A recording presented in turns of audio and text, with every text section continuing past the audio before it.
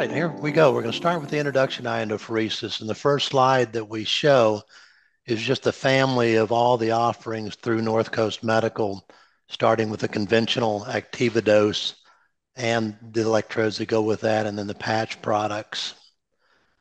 And then just a simple definition of iontophoresis is a non-invasive way to move ions out of solution into the underlying tissue using direct current moving positive ions with positive current and negative ions with negative current. It's used in a lot of uh, applications in physical therapy, also in uh, your family practice, cosmetics with different solutions. Uh, it works basically using, um, as it says here, electromigration and electroosmosis. Um, it's just moving solutions driven by electrical current. You have an active electrode which contains the medication, and you would apply a light current to that medication if it's a negative ion, negative current. And the dispersive electrode is placed over any area just to complete a circuit. The process does require a voltage and current source. Each has a specific function. Current moves ions out of solution into the underlying tissue. Voltage reduces resistance to current to allow that function to happen. If it's a high resistive area and you don't have enough voltage to reduce resistance, voltage can't move ions out of solution. That's one of the advantages to the Activa Dose 2. It's an 80 volt source that there really aren't any restrictions in the anatomy to where it can be used because it will reduce resistance regardless over a short period of time allowing those ions to move out of solution into the underlying tissue. Um, advantages uh, to iontophoresis is non-invasive. There is no um, needle puncture.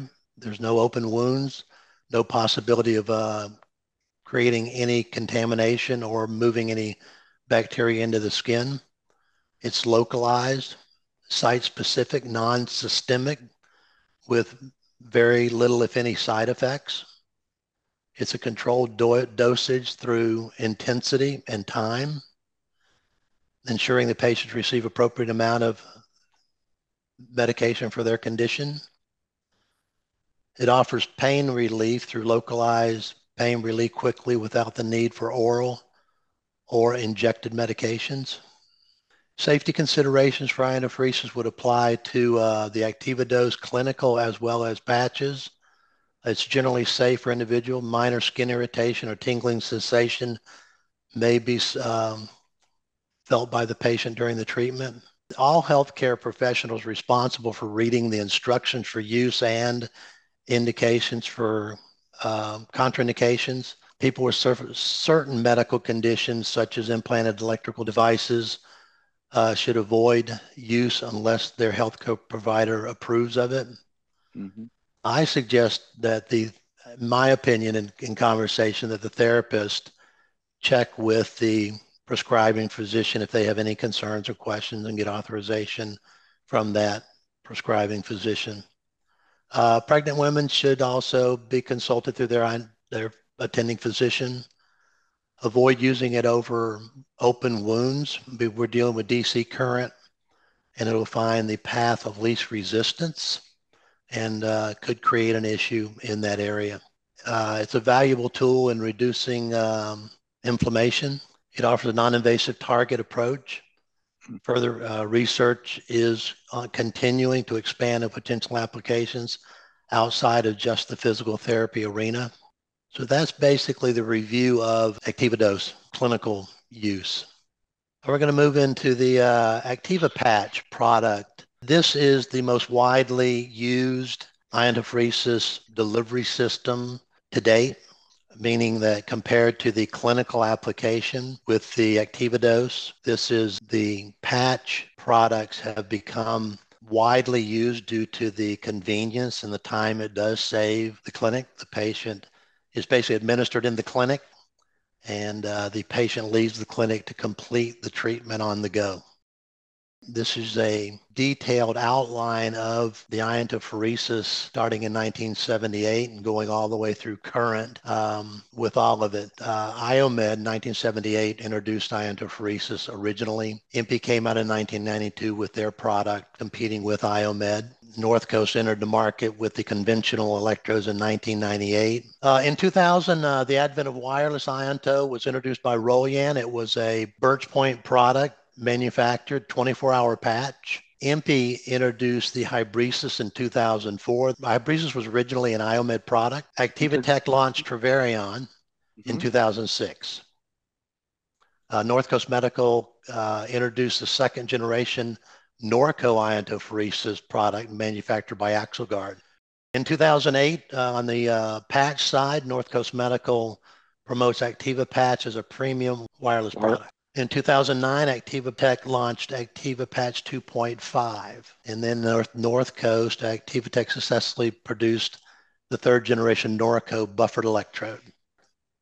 In 2013, our IontoPatch Stat was introduced to the market, which was a four hour patch. North Coast Medical acquired ActivaTek in 2014. And then in 2015, North Coast Medical launched the 12.0 and the 4.0 and uh, Empi exits the market.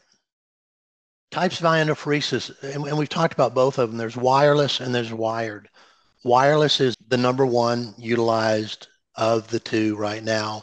Wired does have a specific application, and that is in areas of the anatomy that have a high resistive area to where a low volt product, such as patches, cannot reduce the resistance to allow current to flow the Activa Dose uh, 2 being an 80 volt maximum product will reduce that resistance to allow the completion of a iontophoresis treatment. So there is still an application for that. And it is, I mean, there's still a lot of it used today, not to diminish that at all. Wireless is a short wear time, low current, long wear time, low current. Wired uh, requires a separate controller and uh, drug delivery electrodes and dispersive pad. It's the highest current output and the shortest wear time. Uh, four milliamps is a 10 minute, 40 milliamp minute treatment. Uh, patches are set up to deliver an 80 milliamp minute over a specified period of time. The time is dependent upon the patient's ability to withstand current under this, under the wired. The treatment goal of all iontophoresis is uh, to move ions out of solution into the underlying tissue toward the targeted area.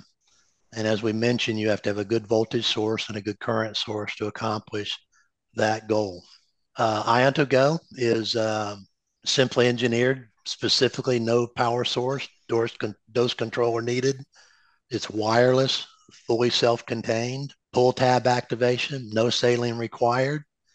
Hmm. And the no saline required is the number one selling feature of this product. It was uh, widely acceptable beyond what we had imagined at ActivaTek with the IontoGo down to go, but IntelliDose when it first came out.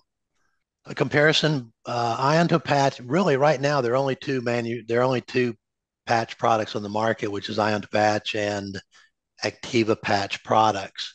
Uh, Ionto Patch, all of their products require a saline fill. So that means they have a drug, bo- drug fill side and then a saline fill. Um, using saline, you have a chance of overfilling the inactive side of the electrode. Their drug reservoir does hold 1.2 to 1.6 cc fill volume. The comparison is no saline required. We use a synthetic polymer carbon conductive element. We have a, and then the drug reservoir is a 2 cc fill volume. This is a foam back adhesive seal around the drug element conductive reservoir to prevent any leakage out of the reservoir onto between tape and skin. The pull tab is necessary to prevent any parasitic discharge of the battery before it's used, the pull tab activates the battery. Activation of uh, Ionto patch is when you place it on surface skin, it completes a circuit. There are six treatment kits per box, and this was designed due to the due to the uh, protocol of four to six treatments, one treatment every other day. So we packaged six treatments per box. Treatment kits are individually, individually packed, and the kits contain an alcohol wipe, drug electrode, and instructions for use. Number one interest from a healthcare provider should be drug dose accuracy or dosing accuracy. And this is just a comparison of Ionto Go 4.0 compared to the Ionto Go Stat. They're both four hour. They're both stated to deliver 80 milliamp minutes in a four hour period of time. And out of the random selection, I believe there were 36 randomly selected electrodes of the IontoGo 4.0. And then if you look down here, it's a four hour, it's an 80 milliamp minute. The mean dosage, an average of all of these was 63.4 with an outlier of 45.7 with a range of 84.7. So if you look at this, the drug accuracy is there isn't anything that is higher in drug accuracy than our 4.0. We do have a set in there that uh, patch only operates at 80%. This is a constant voltage product, not a constant current. So the current on these products can fluctuate based on the resistance. So as voltage is continuing to reduce resistance or has the ability to reduce resistance over the 80 milliamp minutes, you could see an, an increase in current over that period of time. So we back it off to a maximum of 80%, which would be uh, shown in the range dosage variance. Uh, you look at STAT, four hour, 80 milliamp minute. The average of the 36 selected patches was 57.8 with a low of 33.6 to 63.4. So again, we went out on the drug delivery accuracy here. When we say 80 milliamp minutes, we are delivering 80 milliamp minutes over that four hour period of time. Okay, let's look at the comparison of the 12.0 and the IontoPatch 80. The shorter the wear time, the higher the patient compliance to completing that treatment when they leave the clinic. Two and a half hour, four hour, 12 hour the longer the treatment time, the compliance diminishes because the patients, for whatever reason, don't accept that wear time as well as they do the 2.5 and 4.0. Ionto patch had a had a big problem with that when it was a 24 hour patch. You can't get it wet, you can't shower, you can't clean up. So that was a big issue. I don't know if that's what motivated them just arbitrarily change it to a 14 hour patch, but they did. So here we are with 12.0 again. We are using a button cell battery. We actually have voltage on board. We have current on board. This is a potato battery. there is no current, there's no battery. It's uh, activated by a chemical reaction to the drug and the conductive element. So once you apply it to skin, that conductive element starts doing whatever it does. So right out of the chute, here we are with the 12.0, 12 hour product, uh, 80 milliamp minutes. The mean dosage average of all of those is 64.7, as high as 82.5. And this is where it's really dramatic. This is um, the low was 33. That's in 14 hours. And the high was 51.5. This product reduces resistance through the solution on the surface of the skin, the solution reducing the resistance doesn't reduce resistance by voltage. So it takes a long time for that solution to reduce resistance for any expectation of drugs to work. This works off of the process that we mentioned earlier, electroosmosis. Okay. The uh, solution is reducing resistance sitting on the surface of the skin to allow whatever medication can move. That's why this is so linear here because we have a voltage source and current source delivering the ions. That's true. 80% of the drug is delivered in the last part of the delivery time. Well, we use shunt technology in ours. That means that the uh, resistance is being is reducing the voltage and current of the battery. It's a shunt technology automatically shuts this off, our products off at the end of the treatment. This really doesn't shut off. It just goes until one, they take it off, or all of that chemical reaction is depleted. Just a comparison summary of the, these two products. One, one nice thing about these products is they're very cost competitive per treatment or per box of six. So that's one of the advantages of, of this product. For those actuaries out there that are controlling what therapists are using today, again, Activa Patch products, newer technology, higher dose accuracy. Uh, Ionto-Go uh, 4.0 delivers 79% of its specified dosage. 12.0, 81%, compensates for high skin impedance, all, you know, make up for best in class product. And then you look at Ionto Patch, it doesn't deliver on any of these that we have in the Activa Patch product. 80% compared to uh, 42%. Drug accuracy should be uh, a compelling argument with clinicians. I always enjoyed starting with the uh, Activa patch, IntelliDose 2.5.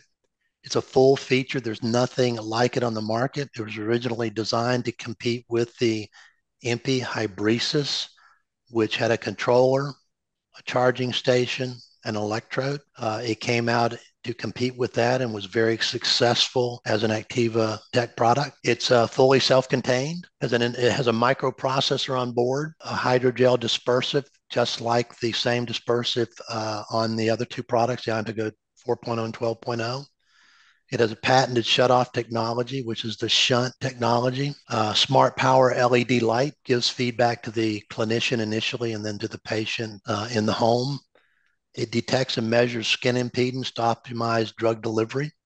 Microprocessor, if you were to uh, go inside and get into the uh, makings of the product, there's a hydrogel carbon electrode. The uh, that's the microprocessor there. It's an 80 milliamp minute dosage, two and a half hours. It's different from the uh, micropore tape of the 4.0 and 12.0. This is a foam back adhesive. Uh, it was initially used because it was easier to contain all the other elements in the product. This is the treatment duration variability. Michael Johnson did the studies for us. He is uh, he did all the preliminary studies for Empi products. So he's been around for a long time. All his all of those studies are available on the website. Uh, this is the just a comparison of how the three operate. The 98 this is the most accurate, which is the 98.7 Ionto-Go. This, uh, compared to the stat, which is 81, and then the Ionto patch 8052.